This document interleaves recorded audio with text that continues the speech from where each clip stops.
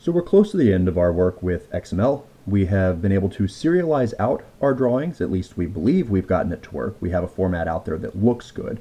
Uh, now we need to be able to deserialize it. And we've started work on that. We started putting in the drawing an apply method that takes an XML node and it should give us back a drawing. And this is the pattern we're going to follow. So you might recall that everything that we wanted to be able to serialize, we wrote a toXML method. This kind of follows with the Scala naming of you have to int, to double, to string, to array, to list, to XML. If you want to be able to convert something to XML for serialization, we put that method in there. And then also following kind of the, st the standards of Scala. A standard way of being able to construct new objects is to have an apply method in a companion object. And so we're doing that here. And this particular apply method takes an XML node and it gives us back a drawing. We have code that should theoretically pull out the variables that we put in there. Now we need to make it so that we can pull out our root. Now the root itself is a draw transform. So if I follow our pattern here, I should be able to make the draw transform and build it off of. Now, how does the draw transform serialize itself? It makes a drawable. All of our drawables make something of that's it is a drawable, and they have this value in of this attribute that says what type they are. We know that the drawing itself can only include so node can only include one drawable. And that one drawable is always going to be the draw transform. Now, we will have to work on how we deal with pulling apart different types of drawables in a bit, but at least at this point we know that root one should always be a draw transform. So we go to the draw transform. Now I'd actually like to refactor something before further working on the draw transform. That is right now the only thing we pass in here is the drawing, but I'd really like to make it so that when we construct one of these, these other values, the transform type, the value 1 and the value 2, actually maybe even the children, I'd like all of those to be arguments. So I'm going to move the prop panel down and uh, I'm going to make each one of these different things into an argument. Oops. Uh, paste, colon paste. This winds up being a little bit more verbose in this approach because you have to specify types for things value 1 and value 2, that's easy. They are doubles. The transform type is a draw transform dot value is the type there for this. And of course that will wind up breaking something in our drawing where it winds up, well actually it should probably break it in our main we'll wind up catching those errors later. We have our draw transform companion object. We want to make a def apply that takes a node that is of type XML node. Remember, I'm using the full name XML node because there's also the properties panel which gives back a Scala FX node, and I don't want those to be confused. So in order to do this, we would need to make a new draw transform. It will need to take the first argument of a drawing. Well, actually, so in addition to passing in this node, I'm going to have to pass in the drawing as well. And let's remember to put that over here. The drawing is D, so we'll have to pass that in. Okay we have to pass in the children. I'm just going to make a variable there. We're going to have to pass in the, I'll just call it trans type. We're going to have to pass in value 1 and value 2. So I need to parse out those four things from this XML node. I'm going to start with the easy ones.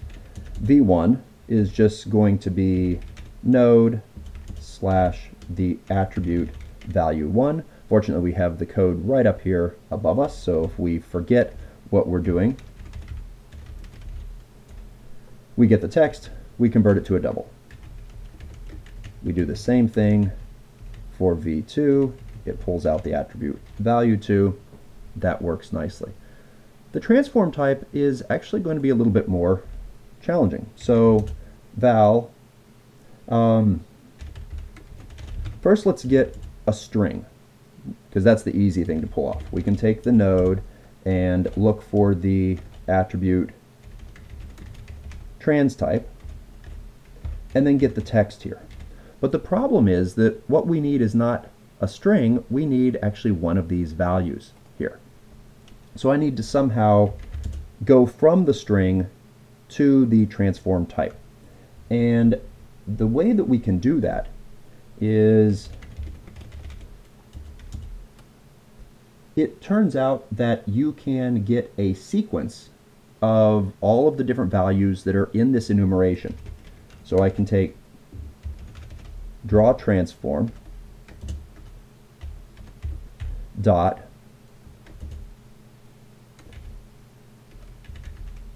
values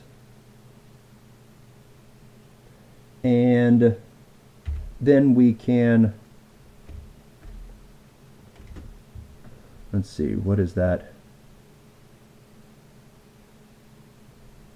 Do I have a typo? Yes I do indeed. T R A N S F O R M. Okay so now if I put a dot here after the values I can find the value, I don't want to do it that way, I can find the value whose string value happens to be equal to our type string. Now, of course, find returns an option to me. I know it's going to find it in this case. So while that code right there could run the potential of throwing an exception, I know that we saved this, it has a valid transform type, and so now this is happy. It is a draw transform value for us.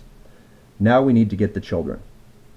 So the children wind up doing each of these things mapped to XML. So what are the children? Well, they're all drawables. How are we going to do that? Well, let's see. I want to set the children equal to, I need to run through my node and find all of the drawable types in there and then each one of those I need to map from the node to the appropriate drawable. Because I am basically creating a drawable, that feels to me like I need to have an apply method in the drawable type. So, well, slightly different syntax there. So inside of our drawable type, we don't currently have a companion object, but we're about to add one. We're going to make our companion object and do a def apply that, as with the others, takes a node, which is an XML node, and it returns a drawable. So in this case, this one's kind of abstract. It could return any type of drawable. And this is code that every time that we add a drawable, we're going to have to change. It's one of the pitfalls of the XML approach is that because it's not happening automatically for us, uh, we're going to, and also let's remember, we know we're going to need a drawing here. And so I should probably pass that into, okay, so, oh, and that's not in, that's node. And so I can do in rocket d uh, or drawable of D and N. And that's happy. And now we're just unhappy because this is a general sequence and it actually needs a buffer.